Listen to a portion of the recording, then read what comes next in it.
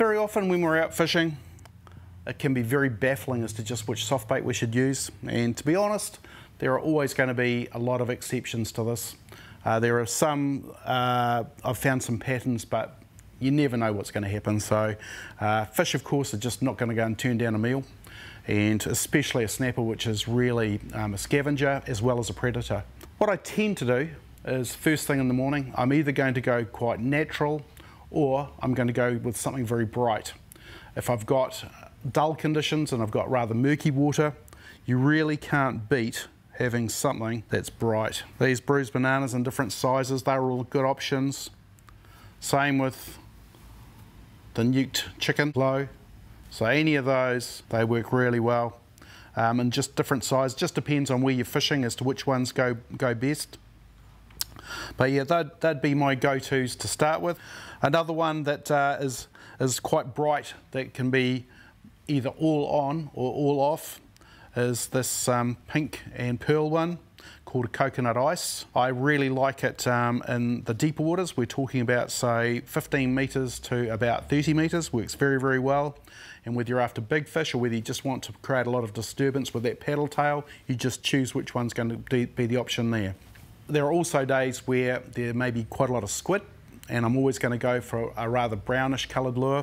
It could be our bruised banana again, but just as importantly, these fellas here, mostly new penny in various sizes. We've also got some little ones and the even the little shrimp there, um, especially when they're fishing slow with all those bits dangling down, they can go really well.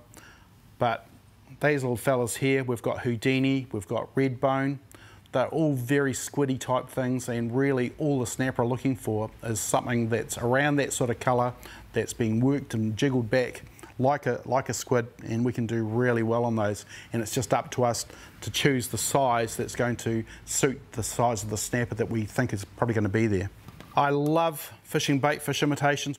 What I find is that it's once again just down to the size of the fish you hope to catch so if you're fishing the far north, you're fishing Little Barrier, if you're fishing Flat Rock, if you're fishing any place that's got some decent fish and you'd like that chance of a big fish, then these bait fish imitations work really well. We've got smoky shad, we've got nuked pilchard, and uh, to me they're very hard to beat. They're always a, a consistent performer and of course in different sizes. This bad shad, I love that. Whenever there's good workups, that's one of the ones I'm going to be using along with these ones here. This is the Shiner, been another very good um, performer over the years. Smaller nuked pilchards and paddle tails. Once again, just with that extra amount of disturbance as it goes down, wriggling that tail. And of course, going right the way down to these little fellas when you're after uh, fish in the uh, anchovy workups, whether it's that little shiner or whether it's um, in the mood ring. And um, even this four inch paddler here, which is Joe Dennehy's favourite from Top Catch here, the opening night. And Pearl, of course, Pearl works really well. Finally, just if in doubt, either you use those, bright, uh, those bruised bananas before or this motor oil, that's got to be the other colour that just so often brings home the bacon. I don't know why it works. It seems to work really well down to about 20, 25 metres. Then after that, I think that it's actually better to have a nuked pilchard or um, a uh, coconut ice, something with a bit of luminosity in it, maybe even the um, red bone. Red bone's another good one to have deep down because of that luminous aspect, um, or even the, um, the nuked pilchard, uh, sorry, nuked chicken as well. So those there, shallow water, all sorts of conditions, generally pretty good, but as I say, nothing's perfect, and that's why I have so many different types because you never know what's going to happen on the day.